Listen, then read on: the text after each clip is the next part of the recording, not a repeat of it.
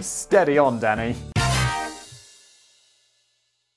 Shadow Legends. Yeah, I'm probably going to include that. That was me testing my mic, and the first thing that came to my mind while testing the mic is Shadow Legends. Raid Shadow Legends. And I mean, I guess that's because this video is the world's most shameless promotions, and it's brought to you by Rage.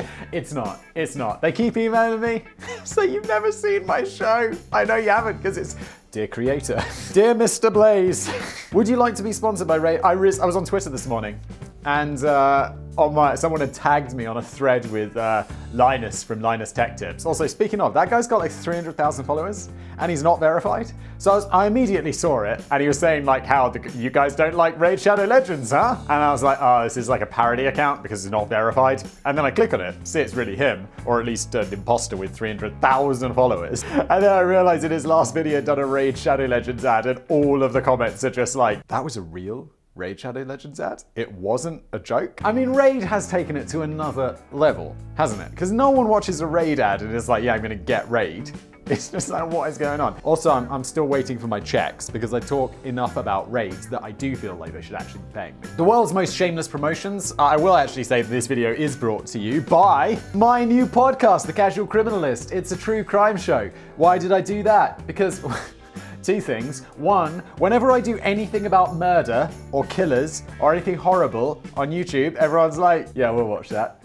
Like Biographics, a channel I do where we cover people. It's like biographies, you know, obvious. Anytime we do like murderer, whatever, it's like, oh, that'll get three times as many views. So I was like, look, I might not be a brilliant businessman, but I can see when there's an opportunity. Also, true crime is just, it's just popular and it's uh, I, I, enjoy it. So I made a podcast about it. It's also a YouTube channel. There are some links below. Click on them if you want. Do you fancy making shitloads of money very quickly without breaking any laws or investing much effort? Boy, do I, Danny. If the answer is no, it's not, Danny. Then you were clearly born in the wrong time, in the wrong universe, and as the wrong species. What is with our species? that It's like, yeah, yeah, yeah, I'd like to get rich, but I don't really want to do any work.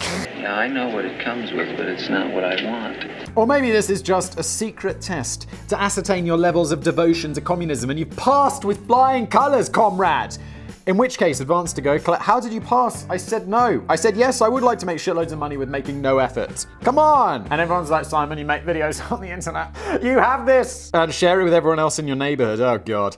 There should be a communist version of Monopoly, where it's just like, yeah, you pass go, collect $200, and then give it back to the state. If the answer is that yes, then here's a cunning, cunningly simple three-step plan, which is guaranteed to bring in bags of gold coins. Ooh, Business Blaze get rich quick scheme, ready. Number one, launch a new YouTube channel.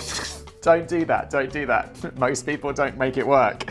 It can be about anything you want recipes, unboxings, reaction videos, reaction to reaction videos. That's a good one, actually. Anything that tickles your. reacting to reaction video. I've actually seen some of these. If you're at a complete loss, just pretend it's meant to be about business or something. Oh, but a bum bum. Very clever, Danny. Patrick, you're fired. Try and get a few subscribers. Yeah, just that's, you know, I feel like that's the question mark, question mark, question mark thing, you know, where it's like, have good idea, question, question, question, profit. You know, the Reddit meme or whatever. Number three, sit back and wait for the inevitable email. Oh, by the way, I have a subreddit, reddit.com forward slash r forward slash Simon Whistler. There's like 1,000 people on there. It's embarrassing. Please, take my Reddit numbers to less embarrassing levels. Overall, I have something like, what, six point something million YouTube subscribers and my subreddit has a thousand people. It's a little bit awkward. Number three, sit back and wait for the inevitable email from the marketing team at Raid Shadow Legends. Oh, two paragraphs in and we finally got there. Offering you a ton of money to sell your soul to the Dark Lord Siroth. I bet, I, I think Danny, he mentioned on Twitter that he actually played Raid Shadow Legends as in research for this script. so I guess Dark Lord Siroth is actually a thing. If anyone actually plays Raid, let me know and then go flog yourself and uninstall Raid. I was going to explain the plot and the gameplay of the freemium mobile game Raid Shadow Legends and even had a few goes on it myself for research purposes. Big brain. But I was worried that I'd send Simon to sleep before he got even past the introduction of the video. I'm sure you've already got a rough idea of what it is anyway. It's a fantasy themed turn-based role-playing game. I, I honestly didn't. I didn't. Anytime I see a Raid Shadow ad, I'm like, skip motherfucker! Forward 10 seconds six times, and then if they're still going on, do it more.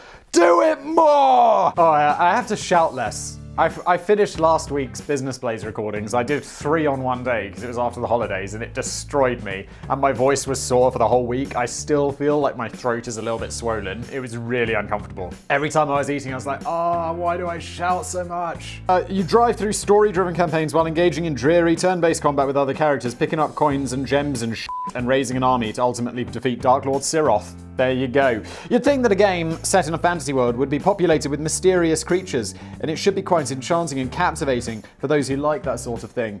I, I hate this. Anytime it's like there's dragons and I'm f***ing out. So I really wouldn't like it anyway. And uh, Danny also says, even if you like it, it's a bit shit. It's kind of like the smartphone equivalent of doing the dishes or taking out the garbage. Once you get past the fairly swishy graphics, you soon realize that the whole plot of the game is fantasy by numbers. There's not a single shred of real imagination or creativity to be found anywhere in the game. Oh, Danny, you're spilling the tea! Which is a phrase that I first heard, what, a year ago? When, when you know, tea meaning like gossip. And I hated it. And I was like, oh, oh it sounds like, you know, what my grandma would use to describe gossip, and now I really like it. And the gameplay is often just repetitive and monotonous to the point where playing it feels like a long winded chore. It takes absolutely ages to achieve anything remotely useful or rewarding. If this video gets 10,000 likes, I will install Raid Shadow Legends, and I don't know how to live stream. but if I can figure it out, we'll live stream Raid and I'll absolutely rip the out of it unless they pay me. That's not blackmail. I realize that sounded really like I'm blackmailing them. I'm not. Just if they sponsor me, obviously I'll say nice things about them. But you know, always with a bit of this. Eh? Eh? Unless, of course, you speed things up a bit by getting out your wallet. And this, of course, is the real story behind Raid Shadow Legends. And it's so blatant that it's beggars belief. Danny, we know this.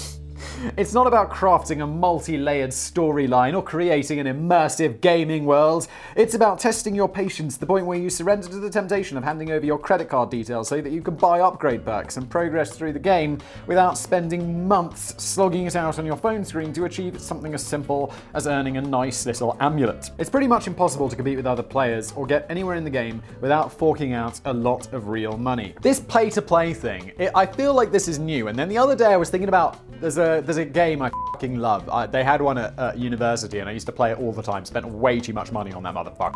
Time Crisis 2 with the light gun. You got two screens side by side. You play with a friend. It's absolutely epic. I love the shit out of that game. Although I recently bought an Oculus Quest 2, and that's just a different level of games. like holy shit. It's like I am inside a soldier's body. What was I talking? Yeah, so Time Crisis 2.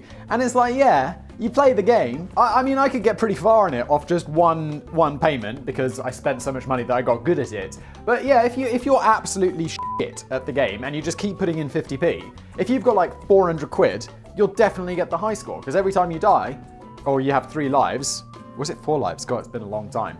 You just keep putting in more 50p's and you'll eventually win and get the high score. And it's like, that's pay to play. Why are we talking about this? Unfortunately, the game regularly reminds you about the benefits of paying for upgrades as you make your fantastical journey through the seven realms of Twatalon, or whatever it's called. I can love it. And why are there always realms in fantasy? Like, who has, you know, realms is, if someone said, you know, realms, I'm thinking like medieval shit, where they probably didn't use the word realm, or, or like Lord of the Rings or some boring like that smash that dislike button. In fact, half of the challenge is not so much battling against the dark forces of evil, but battling against the pop-up boxes which bombard you at every turn. During my first attempt at playing the game, I found myself having to close down a sequence of eight boxes, pushing me to spend real money before I could figure out what I was meant to be doing, and many of them are accompanied by a frantic countdown timer and a bid to persuade you to get your wallet out before you've had a chance to get your brain in gear and realize what you're doing with your life. I've just realized that a thousand likes is way too little on a Business Blaze video. It needs 5,000. 5,000 likes! And I will live play. I probably won't live stream it because everyone's like, Simon, why don't you live stream? Why don't you live stream? And I'm like, generally, I find live streams a bit boring. Like, when it's edited, it's like all of the thinking time and sipping coffee and, you know, being like, oh, I need to have a fart. I cut all that out and it's much more punchy. And I find that more exciting. But uh, look, if, it, if you overwhelm me in the comments with like, I'll do a poll. I'll do a poll. Live stream or edit. Easy. But only if this gets 5,000 likes. Only if you subscribe to my new podcast, The Casual Criminalist. Many of these boxes are accompanied by a frantic countdown timer in a bid to persuade you to get your wallet out before you figure out how much you're willing to spend so it can squeeze more money out of the players who seem quite happy to dig into their pockets to pay for useless, meaningless crap. Uh, and all of this isn't that life though, where we just spend our time buying useless, meaningless crap. It's kind of, kind of it, isn't it? Purchasethemerch.co. Get yourself. Why am I wearing a t-shirt? Why am I wearing mer- Why am I wearing my own merch? What the fuck, Whistler? Well, you can purchase this mug. See, it says Blaze, Biz Blaze, but like another logo you might be familiar with. All of this makes the relentless marketing campaign for Raid Shadow Legends seem so utterly shameless. Ever since the title was first launched in 2018, the Israeli developers Plarium Games, more like Plagium, given how much I have to put up with your shit, have gone to town with blanket generic marketing draped over every corner of cyberspace. The animated video advertisements are about as creative as the game. They usually involve an overdramatic voice chanting out the same key phrases, like a misleading mantra of deception. The short list of repetitive phrases includes Forget everything you know about mobile games. Totally free to play. Awesome graphics. Amazing storyline. Koi reminds me of my podcast, The Casual Criminalist, which you should check out. There's a link below. Now, I'll concede that the graphics look quite good to me, but I'm possibly the wrong person to judge. I still think that the graphics in Space Invaders are chillingly realistic, and I suspect it's probably a good idea to try and forget everything you know about mobile games, as you're more likely to be impressed with what's on offer if your memory has been completely wiped of all the other more entertaining games which you could be playing on your phone. Yeah, uh, it can't be it can't be misleading advertising because that's technically true. Allegedly. Oh, all of this is alleged, by the way. Allegedly, Raid is all of these things, and definitely this is all my own opinion, and definitely not fact. Definitely not fact. But the slogans relating to free gameplay and amazing storyline are quite laughable. Allegedly. Jesus, Danny, allegedly. The title, in my opinion, the title may be free to install, but it's going to cost you a packet to get anywhere in this hollow realm of mundanity. Over the last couple of years, Plarium Games have faced a foe even mightier than the Dark Lord Siroth. His name is Adblocker, and companies crumble with his iron fist, and so does Simon. Anytime, like. When people, like, I, I, literally posted on this morning, someone left a comment being like, 10 ads on a video, Simon, 10 ads? And I just replied, only because I couldn't fit in 11. And it's like, people people will be like, I'm going to install an ad block. I'm like, fucking you do you, man. You do you. I don't care. Like, there's enough people who are not dickheads. But they've got to get but they've got around this problem by getting YouTubers to promote their game within the content of their videos. You'll never capture me, Raid. You'll never capture me! I wasn't gonna shout as much, my throat hurts. Over the last couple of. Oh, God. A recent tweet from this company appeared to deny that this was the case, stating that we do not sponsor. We cooperate only with those YouTubers who play our game and want to be our influencers. We do not pay money for it. Bro, I'm sorry, but allegedly that is a fucking lie. Why the fuck you lying? Why you always lying? And I know it's a lie because I've negotiated with you. It took a whole six days of online roasting before the company later clarified its position in a purposefully confusing follow up tweet, which declared that they were just talking about the fan engagement rather than the paid marketing side of the operation, which is completely different. You sketchy motherfuckers, allegedly. And this was complete bollocks, as the original tweet had been a direct response to an inquiry about paid marketing. I'm sure we're all aware now that Plarium Games aren't particularly fussy about who they best to promote their game or a YouTube video. Yeah, they will literally ask, eh, ask anyone, even if you've been constantly slagging off their game in your videos for months. And I honestly think that Simon should give it a go and donate the fee to charity. Steady on, Danny. He could deliver the most sarcastic and piss-taking ad read to ever grace the uh, YouTube, and nobody at Plarium Games would bat an eyelid as long as Simon mentions the awesome graphics and amazing storyline. Despite all of this, Plarium Games must be doing something right as they continue to throw big bucks at YouTubers to promote a game which has already been downloaded 250 million times, son. Shit! And although nobody outside of Plarium knows the exact figure, it's estimated that the game currently rakes in about 100 grand a day. I have to say that seems quite low. I know that's a lot of money, but considering how much they pay ad for advertising, that is not that much. It's it's more. It's it's more. But even the name of the game is just a cold-hearted calculation. Long-term players still have no idea why the game is called Raid Shadow Legends, bearing in mind that the storyline has not made any reference to either a raid, shadows, or legends. They're just three strong words which have been bolted onto the game in order to get more exposure in search results. Oh, this is so shady. Ah, the sequel will probably be Ultimate Super Zero Zombies Magic Quest War on Chronicles Unleashed. Yeah, I mean, honestly, I feel like that someone has emailed me with this in there, like, hey, we're a hello influencer. We represent the company Plague, Plagium Games. And we've got a game called Super Zero Zombies. I would 100% believe that. Uh, oh, that was the introduction. Hello, everyone. Welcome to Business. Longest introductions in the game. Greasy Triple Whopper.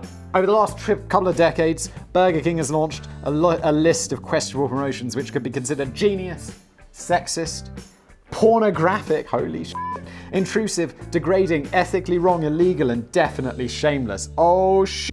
I remember Burger King, they were the ones who like you could unfriend five of your friends on Facebook and get a whopper. I mean like fucking game on, son. That is worth it because I don't value friendships. But for now, I wanted to concentrate on three campaigns in particular, which took a digital swipe at Facebook, Google Home Hub, and Twitch. The first is the Whopper Sacrifice. That's what I was talking about from 2009, in which customers were invited to shed their Facebook friendships in exchange for a free Whopper. The marketing material encouraged users to install Whopper Sacrifice on your Facebook profile and will reward you with a free flame broiled Whopper when you sacrifice 10 of your friends. I didn't know what broiling was for the longest time.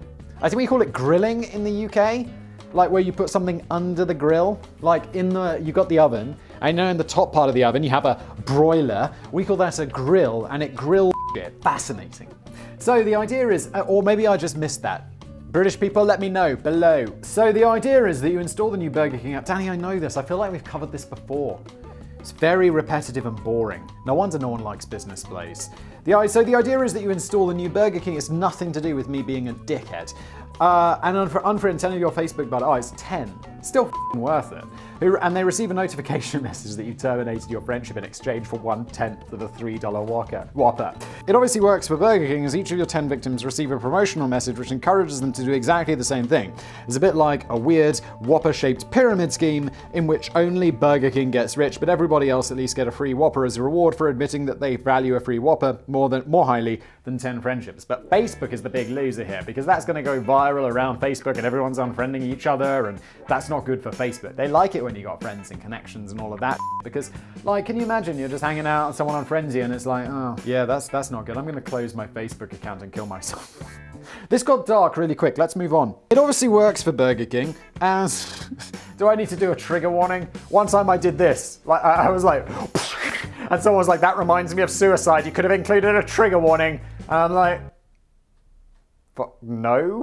What's going on? How do you survive in the world?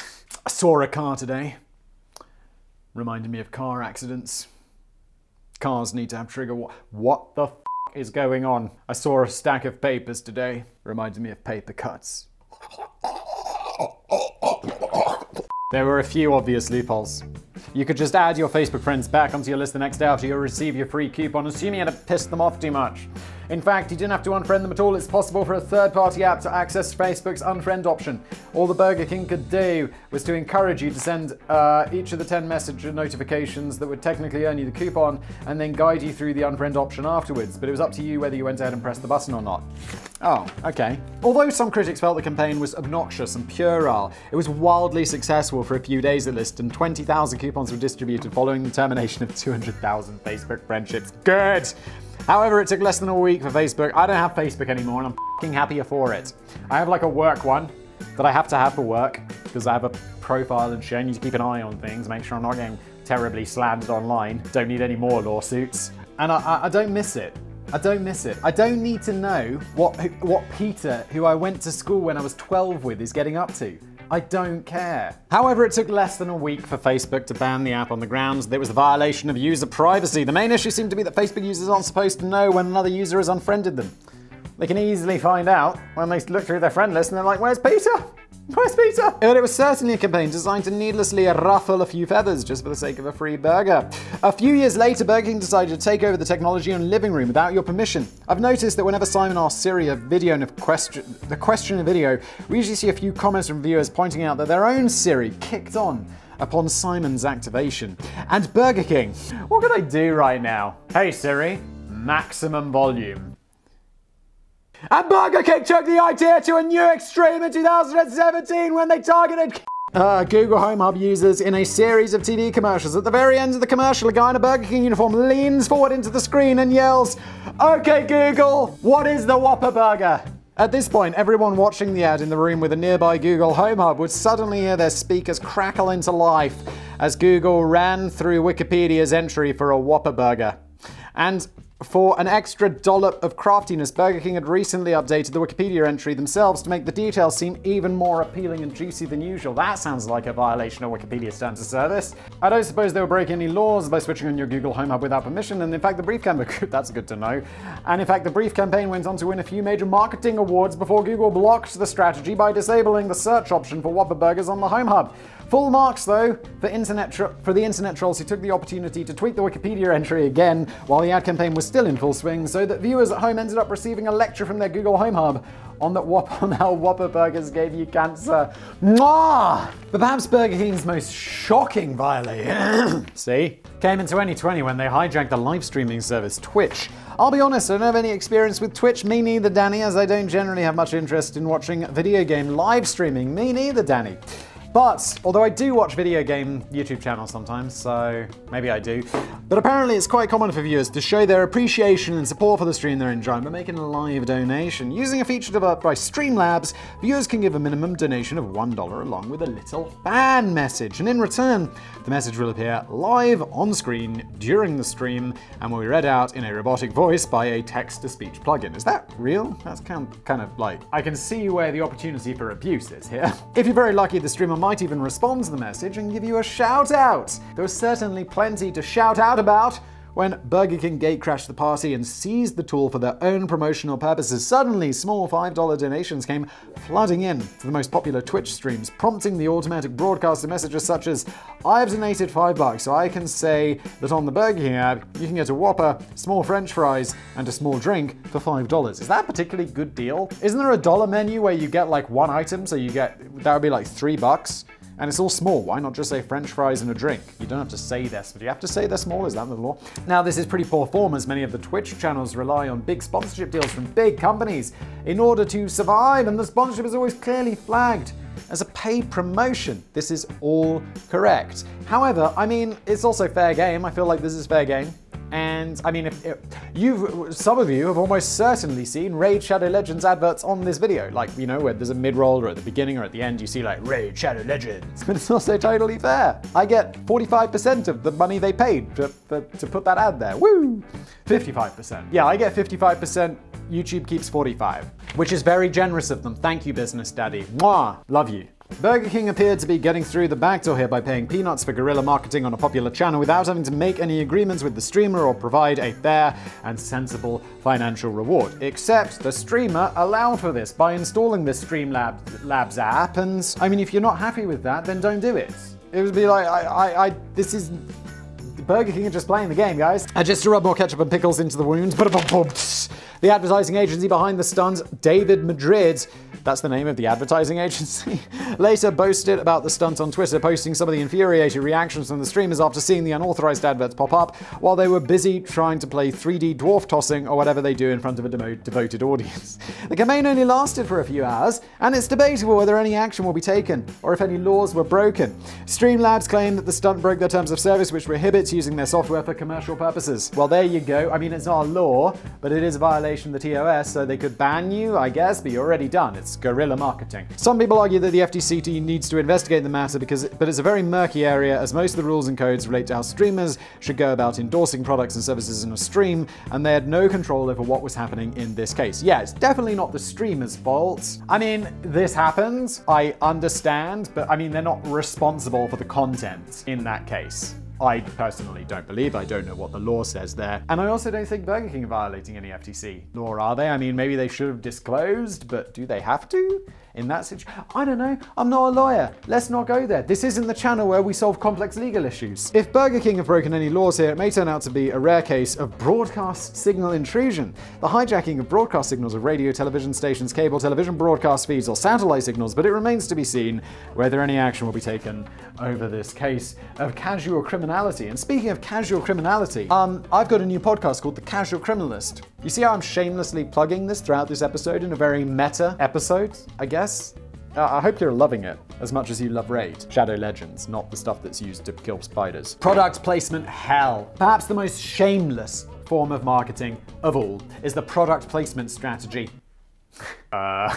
Patchthematch.co! I was reflecting on this this morning as I slapped a few drops of Beard Blaze oil onto my face. Mmm. And if you'd like to get Beard Blaze beard, beard oil, a product from me, it's not a sponsorship, it's actually mine. You can go to beardblaze.com and hook yourself up. I usually go for the Blazing Outdoors range as it reminds me a bit of what the outside world smells like. I haven't even got a beard. Ah, yes. Well, I mean, maybe you could use it like as, as an essential oil. You put it under, you know, one of those weird ceramic things with a little candle and you drop some oils in the top. I wonder if you could do that. I'm gonna try and do that. Maybe I'll do that. It would open up Beard Blaze Oil to a whole new market. Hippies. And they already have beards! The idea of shoving products in your face while you're innocently enjoying a film is more than a little devious, but it's a lucrative business. The product placement industry as a whole is worth over $10 billion, and the product placement in movies accounts for nearly 20% of that figure. Yeah, I mean, I get it, because it totally works. Like after seeing Scarface, I got super into cocaine. The product placement was amazing. I've never seen Scarface. Is that does I've seen the meme though where there's the pile of cocaine. Is that that Scarface? It usually doesn't detract too much from the film, and the, but the subliminal advertising messages can leave a sour taste in the popcorn bucket. But.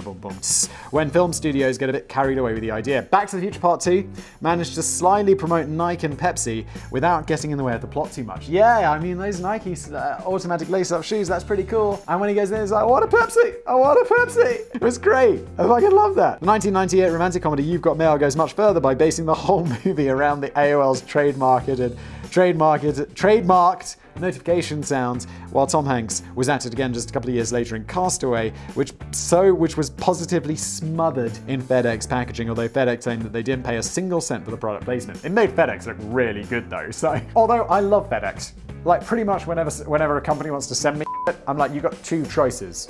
FedEx or UPS. FedEx preferred. I love FedEx. It's insane. Like one time, I, there's an advertising agency we work with in Chicago, and they had to send me something like super urgent. And they're like, yeah, yeah, yeah, we just FedExed it. And it arrived the next day to me in Prague, in Europe. And I'm like, this is insane. And then I found out how much it cost, and I was like, Gabe, are you coming along with the package? Because that's like the price of a flight. but FedEx get their shit. The 1993 Sylvester Stallone sci-fi movie Demolition Man is set in a post-apocalyptic future, long after the franchise wars, which left only one restaurant chain still standing, Taco Bell. Curious, I love that movie, and I love the three seashells. Curious, it did. Uh, by the way, at some point during this video, I, I cut it and I went to use the three seashells and then I came back. TMI! You didn't even know where. It was during the Burger King bit. Could you see how it's some after after that I was just more relieved?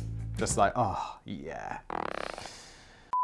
It was an odd choice for a sponsor, as Taco Bell weren't even widely known outside the US back then, and so loads of scenes had to be redubbed or even specially reshot for the overseas market, where the last remaining restaurant chain was transformed from Taco Bell into Pizza Hut, both of which were co-owned by Pepsi at the time. Hang on, I remember it being Taco Bell though, and I'm in. I grew up in the UK. We didn't have Taco Bell. We had Pizza Hut. Shit, was it Pizza Hut? I definitely before Danny mentioned it, I remember that it's got to do with Taco Bell, but that might just because of the memes. It seems like a lot of pissing about for a product placement deal, bearing in mind that Demolition Man also predicted that everyone would still be using Sony mini discs in the year 2032.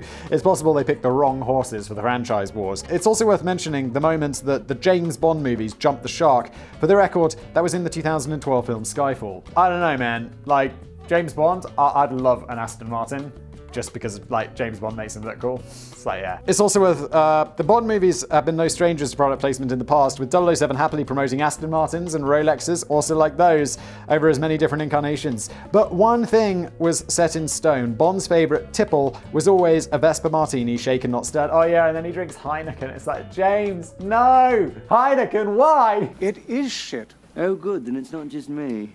Uh, that is until a new sponsorship deal in 2012 saw Daniel Craig ditching the traditional Vesper Martini and downing bottles of dirty, bloody Heineken instead. I mean, it is a little bit different. I mean, Vesper Martini sounds ultra classy, whereas, yeah, the Heineken. Ah, you are a normal average person. You'd have never caught Sean Connery lowering his standards like that in a million years. Daniel Craig, not my Bond. However, the most shameless offenders of all came both came in the right, right at the end of the 1980s. The Wizard. Movie I've never heard of. Uh, was a 1989 film from Universal, which was essentially just a 100-minute commercial for Nintendo. The Japanese gaming company was already flying high there and arguably, didn't need any promotion at all. But a bottleneck in the memory chip supply chain had resulted in delays for the North American market, who are still excitedly awaiting the release of the much-anticipated Super Mario Bros. 3 for the NES. The Wizard was marketed as a wholesome family film following the story of a trio of young trouble kids who run away from home to take part in a Nintendo video game championship called Video Armageddon in a bid to win a grand prize of $50,000. It starred Fred Savage, still at the height of fame from the TV show The Wonder Years, alongside early appearances by Christian Slater and a very young Tobey Maguire. Who's Fred Savage? I know Christian Slater and Tobey Maguire, of course. But in fact, the, uh, maybe I, am sure if I saw a picture of him, I'd be like, oh yeah, this guy. But the whole, but in fact, the whole venture was little more than a product placement party for Nintendo, who had final script approval on the film. The climax of the story is pretty much an official preview of Super Mario Bros. 3 for North 3 for North America, as the kids play the new game in their battle for the ultimate prize.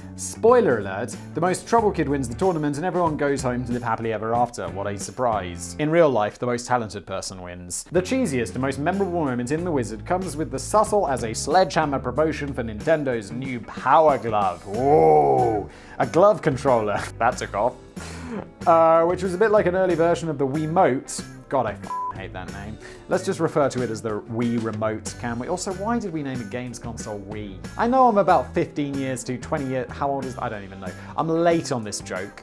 But what the fuck? Although nowhere near as effective, during a pivotal scene, one of the protagonists slips on the gloves and dramatically delivers a legendary line with pure hammy relish. I love the Power Glove. It's so bad.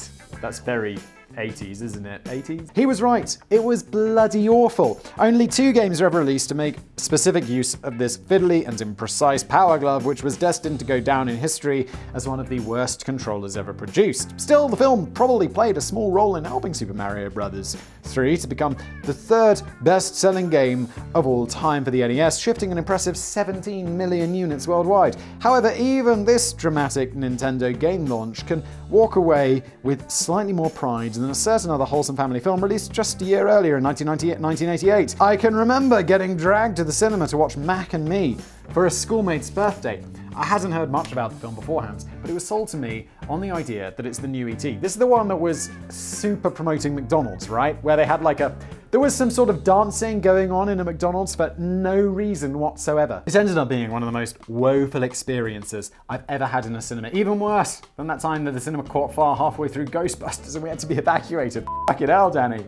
It would be very generous to describe the film as the new E.T. Mac and Me was actually a blatant rip-off of E.T., but with any trace of magic or charm replaced by soulless promotions for McDonald's. The plot centers around a little wheelchair-using boy called Eric, who befriends a crap alien creature called Mac, who longs to be reunited with his alien family. How heartwarming. Along the way, Mac keeps saving Eric from perilous and yet strangely comical situations, such as when Eric loses control of his wheelchair and ends up sliding down a hill and straight into a lake. Isn't that the clip that some famous actor goes on some famous talk show? And every time, he's given them the wrong clip. I mean, I know it's all set up and it's fake, but it's like every time, it's just like, yeah, and let's watch a clip from your new movie, John. And then they roll the clip, and it's the same scene, and he's done it like over 20 years or something. It's very funny. But very staged because it's not like the late night host is seeing this for the first time and doesn't expect it at all. It's like, oh, oh my god, you got me. It's like, no, you, you rehearsed this. Oh, television's so fake, everything's so fake. Even Business Blaze is, is fake. I, this is actually fully scripted. All of these ramblings I think about for days. Apparently Mac's name is an acronym for mysterious alien creature. Genius. Although everyone at school had assumed after watching the movie it's a massive alien cock. Uh, if you want to see that on a t-shirt, I'd love to get a t-shirt that says massive alien cock. It may just be a coincidence that it sounds quite similar to a signature dish at McDonald's, and the name of Mac's homeworld was revealed on screen, screen as Quartus Pondus. Who gives a fuck? It's hot. Oh, quarter pounders. Oh my god, genius. Oh, and from McDonald's. Oh, oh. So fucking dim sometimes. Oh my god. I wonder how I survive. Danny, how long is this? It's so long. Ha! Gay! Oh, are we on the last page? Oh, there's two more pages. We're almost there, guys. My legs are tired. It's harder to forgive the five minute dance sequence, which takes place in McDonald's restaurants and features a guest star appearance by Ronald McDonald himself, that creepy f- allegedly. The mad thing about this sequence, the only mascot creepier than Ronald McDonald's is Jared from Subway. The mad thing about this sequence is that the film and the narrative literally just stop for five senseless minutes while everyone decides to have a dance with Ronald against the happy backdrop of McDonald's menus. Now, it should be stressed that McDonald's has always denied ever paying a cent. Guys, come on! I mean, like, Raid, no, we never paid anyone. McDonald's, no, we never paid anyone. FedEx, we never paid anyone. Guys, it's okay. It's okay. I mean, I don't know if you did, and I don't want to be like alleging anything. But in my opinion, it seems highly likely that allegedly you did, didn't you? You did. Uh, instead, they claim that they reached a deal with a film studio which granted rare permission to use McDonald's branding and characters. Why would you not grant that? I mean, if the movie's not going to be like absolutely shitting on you, I'll be like, yeah, okay, you can use Business Blaze. I mean, no one ever would, but feel free. Don't, that's not, don't, don't. I'm just gonna back that, I'm gonna backtrack on that and be like, you need to consult me first. But it's worth noting that the pro- producer of the film, RJ Louis, had previously worked in advertising campaigns for McDonald's. Christ. More specific, more significantly, the film was given a big chunk of funding from a food service distributor called Golden State Foods, who provided meat, ketchup, lettuce, and sauces for their store clients, who just happened to be McDonald's. I mean, it's the same company, right? In fairness, the product product placement wasn't exclusively connected to McDonald's. The movie also managed to squeeze in promotion for Coca-Cola, Sears, Power Wheels, and Skittles within its 90-minute running time. Was there any of this movie that was actually plot, or was it just all advertisements? But none of this did much to preserve the film's legacy. Mac and Me currently holds a 0% critics rating on Rotten Tomatoes, love it, and is widely considered to be one of the worst crimes ever committed on the silver screen. Filmmaker Morgan Spurlock once declared it to be the worst thing you'll ever see on your entire life, while the Washington Post suggested E.T. should upgrade his catchphrase from E.T. phone home to E.T. cool lawyer. Hilarious. A for the Washington Post. I feel the film rather optimistically closes with the caption, We'll be back. Over 30 years later, nobody is waiting for the sequel. Maybe next time the producers should collaborate with Burger King instead. Eric could team up with a new crap alien called a Whopper, who only agrees to become good buddies after Eric shoots 10 of his old schoolmates dead and bombs the local broadcasting station to bits. Holy shit, that got extreme. This has been an episode of Business Blaze. I have been your boy with the blaze. If you'd like to purchase some merchandise that I am not working, I don't wearing, I don't know why, purchasethemerch.co. There's a whole range of fun t-shirts and this mug. There are many of these. In fact, there's an infinite number because they're all print on demand. It's not like I've got a giant stock of mugs that I need to ship. Check out my new podcast, The Casual Criminalist, and uh, I'll see you next time.